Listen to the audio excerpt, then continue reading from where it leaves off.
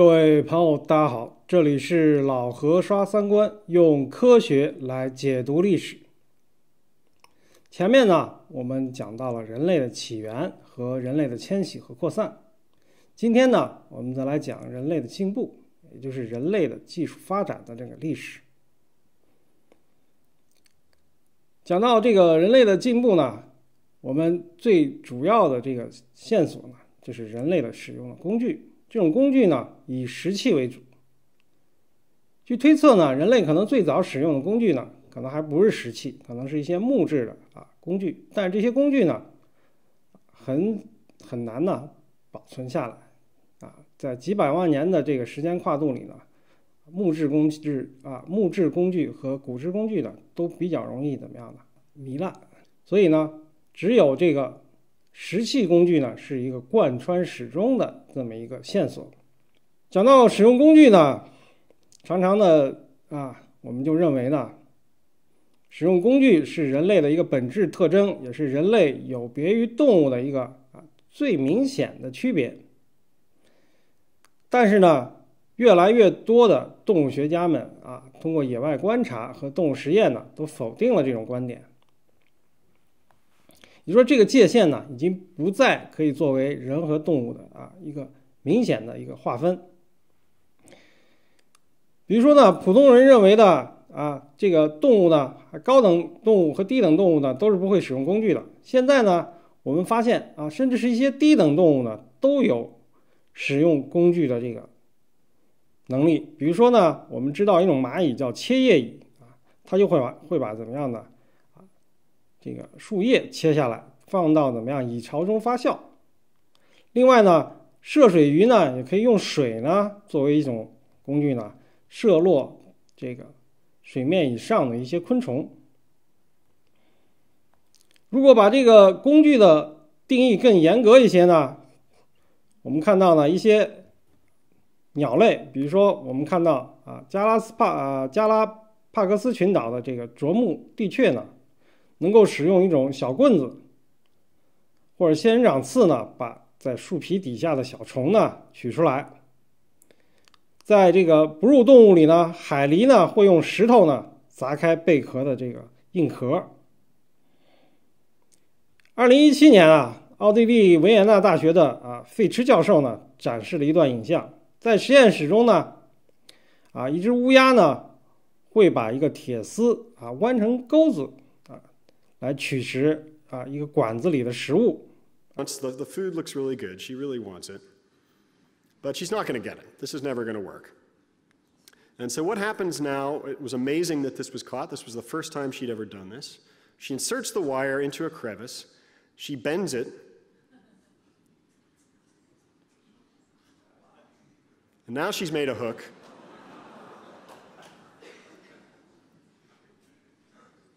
Still not so easy, and now she gets the food. And that is one happy crow. Yeah.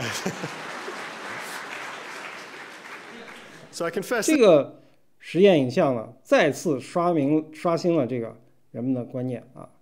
从以前认为的啊，只会使用借助一些既有的物质呢，来取食的这个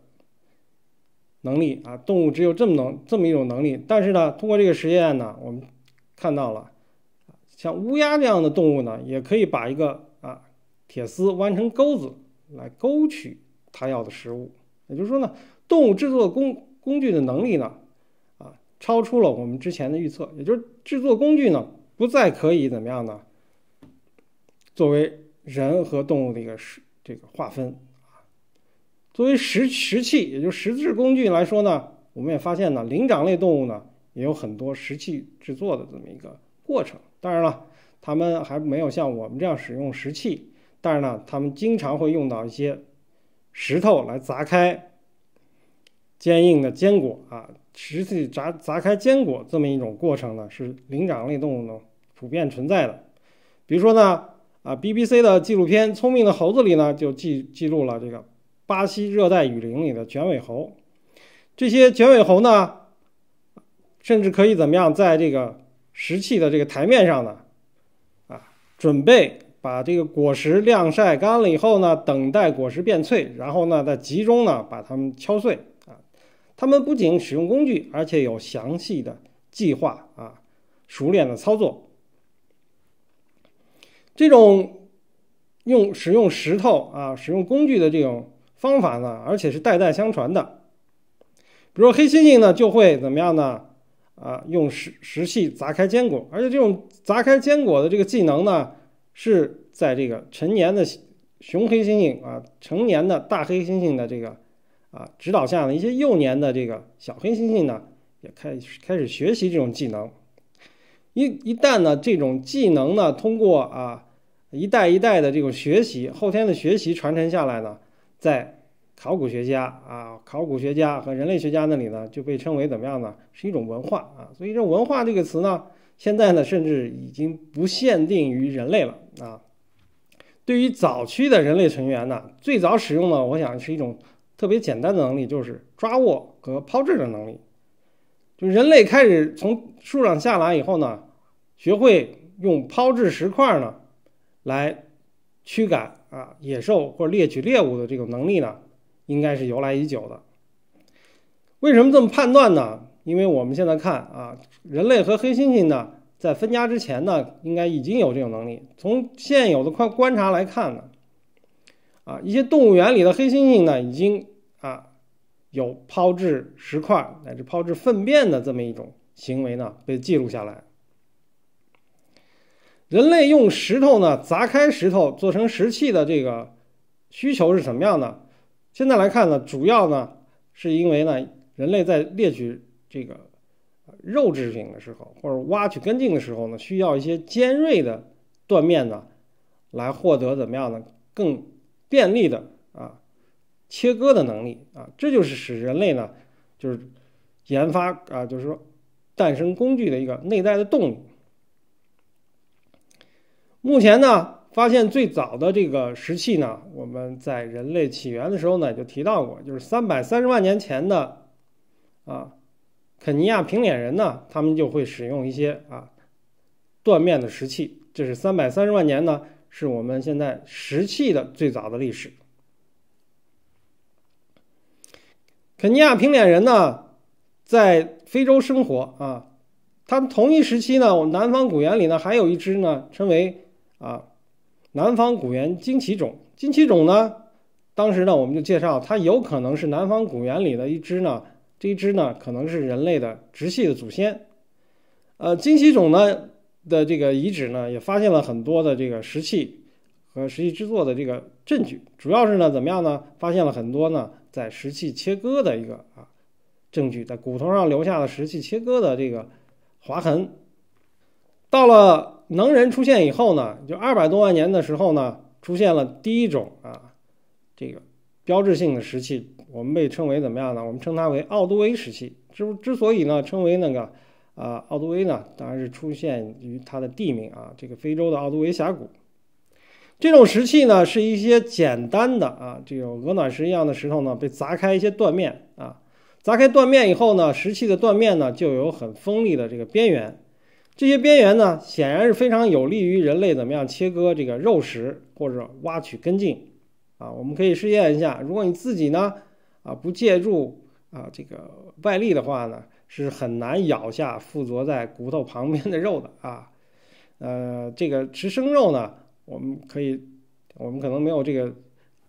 呃传统啊，因为很长时间我们不吃，但是你可以试验一下，这是可单凭牙齿呢是很难咬下排骨上的这些肉的。或者说呢，很难是咬干净的。这些奥杜威石器呢，是最简单的石器。慢慢呢，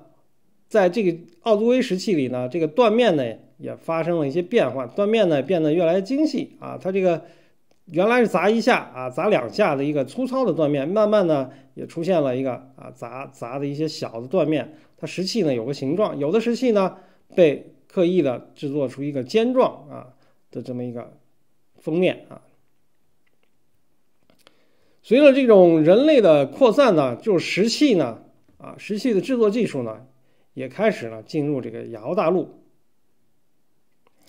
比如说呢，一百七十八万年前的这个格鲁吉亚啊，我们提到了这个格鲁吉亚啊，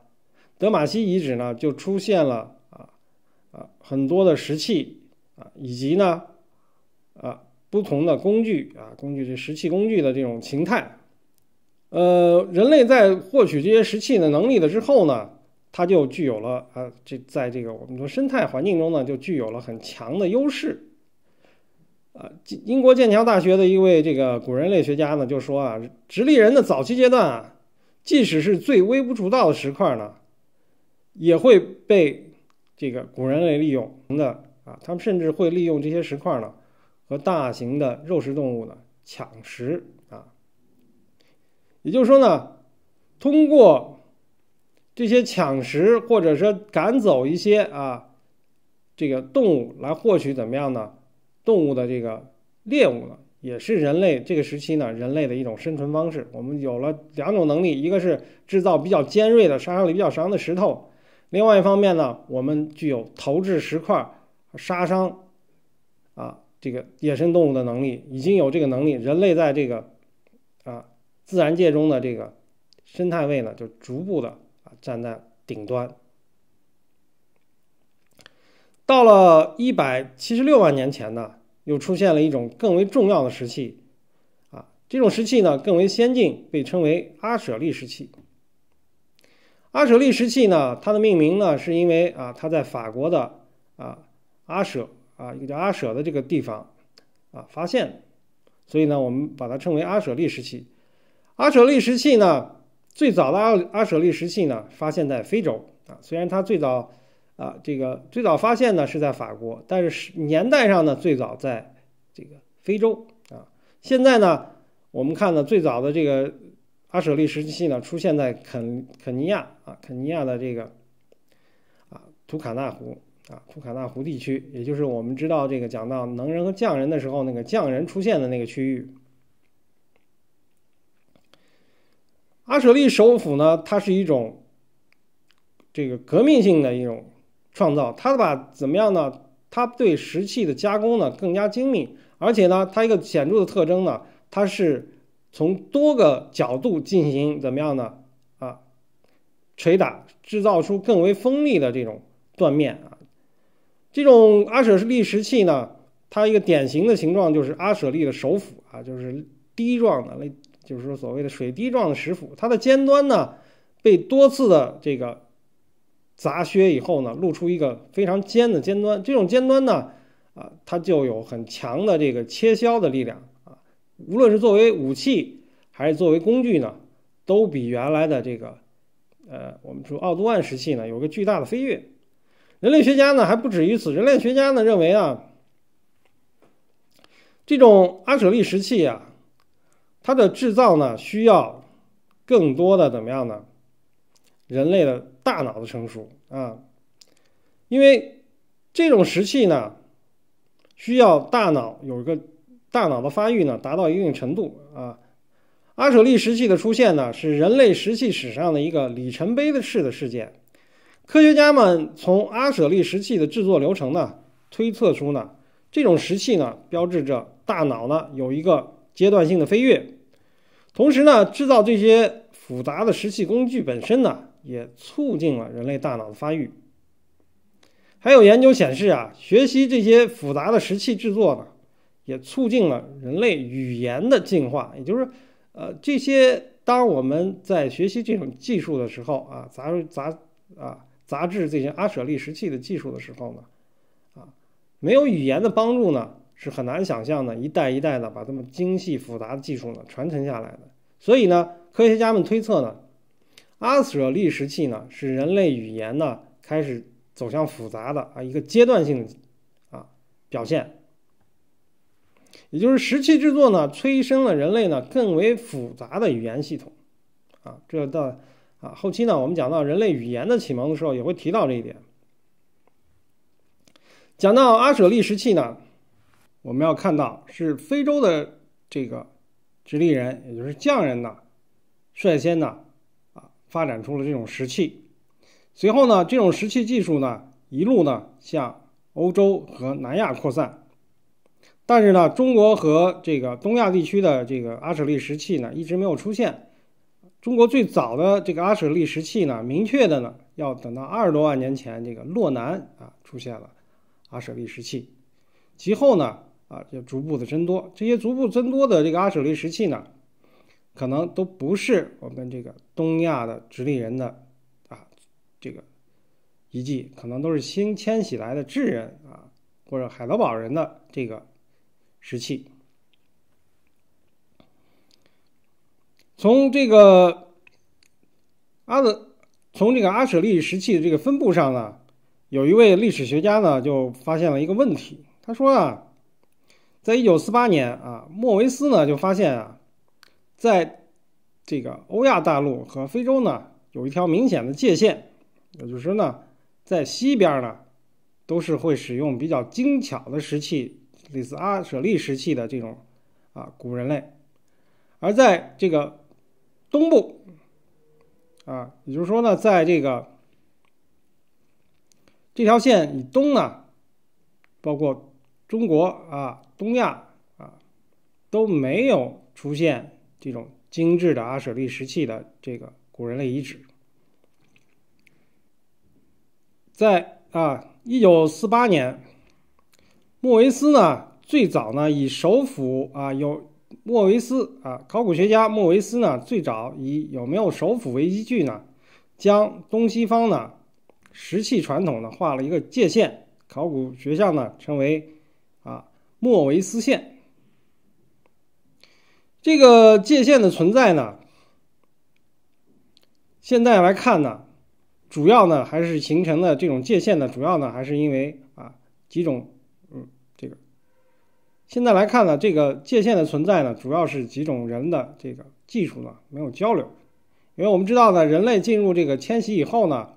可能在一段时间呢，东亚和啊中亚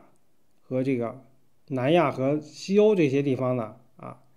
进行有一个地理上的隔绝，也就是这个时期呢，很多人呢啊很多这个古人类呢无法再次进入这个东亚，这个隔绝呢。时间可能还是比较长，等到啊二三十万年以前呢，这个智人或者海德堡人呢再次进入东亚之后呢，啊这种精器的这个石器呢才进入了东亚。也就是说呢，这个这个界限呢，可能和古人类的分布呢有着直接的关系。这就意味着呢，这个莫维斯线啊。可能在西部呢，都是比较智能的啊，我们的这个能力比较强的海德堡人啊，我们看到的匠人、非洲直立人；而在东部呢，则是最早来到东亚的这个早期直立人啊，他们和后来呢这个西西部的这个直立人呢，没有一个在交流文化上的交流，所以呢，他们的石器呢一直处在一个呃比较落后的状态，所以石器呢，可能也代表了古人类的一些种类。呃，这个持此观点的呢，还有哈佛大学的这个尤瑟夫教授，他的观点呢更为激进。他认为呢，人类呢至少有六到七次走出非洲的这个经历，每一次呢都把新的石器技术呢带到不同的地区。所以不同地区呢，从微观上说呢，它的石器技术呢还是有差别的。但这个大线呢是没有问题的，也就是说，这个莫维斯线呢确实是划分了两个。领域一个呢是阿舍利和派森的一些啊比较精巧的石器技术，而东亚呢则是非常原始的啊奥杜万时期啊，这个从我们现在来看呢还是有一定的依据的，就石器和人类的关系呢，从现在的考古学来看呢还是有一定依据的，就是更智能的人呢大部分呢。制作更智能的石器，啊，有一些中国学者呢就比较反对啊，认为中国也有所谓的啊阿舍利石器，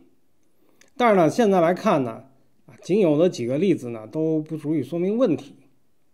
最主要的一个例子呢是来自所谓的广西百色的阿舍利石器，阿舍利石器呢号称有八十万年，但这个石器呢，学者们就表示质疑，因为什么样呢？它不是一个。考古发掘现场发掘的石器，它是采集来的、收集来的，就是啊，类似像这个市场里收来的这么一块石器，确实是这个阿舍利石器啊，也可能确实是这个古代的石器，但是呢，没有一个严格的地层啊发掘的这个地层很难判断呢这个石器的这个呃这个时间啊，这个其他的判断呢还是不太啊靠得住的。现在比较啊可以确认的呢是啊咱们这个洛南地区的阿舍利石器啊，这个阿舍利石器呢也相对呢比较粗陋，但是呢它也到了二十五万年前啊，也就是二十五万年前呢。这些石器是否是啊这个东亚原来的直立人的石器呢？就值得怀疑了。因为很简单一个道理呢，这个石器呢，这个是二十多万年前呢，我们知道，呃，欧洲的尼安德特人、中亚的丹尼索瓦人呢，已经在这一片地区活动了。有可能呢，甚至是啊类似丹尼索瓦人这样的啊这个智人的这个石器也有可能啊。所以呢，我们看待一个问题呢，首先是要从世界的角度来看，啊，不要认为所有的事情呢，啊，都以中国的视角来看啊，任何事情把中国排斥了，都是所谓的啊居心不良的啊，其实这种呃想法呢，非常的幼稚啊。我们的学者经常去所谓的啊，去否定西方的观点，怎么怎么就代表怎么样非常正义？你你否定了所谓别人的观点，你不代表正。一个问题。只有正确和错误，没这个问题没有正义邪恶之分啊。我们还要再次强调一下，我们说的上帝的归上帝，凯撒归凯撒。有些学术的问题呢，还是要放到学术的这个范围来讨论，不要搞得乱七八糟，把民族主义拖进这个所谓考古学来啊。好了，今天呢，我们就讲到这里。这里是老何刷三观，用科学来解读历史。欢迎呢，大家继续收看。好，这期就到这里，再见。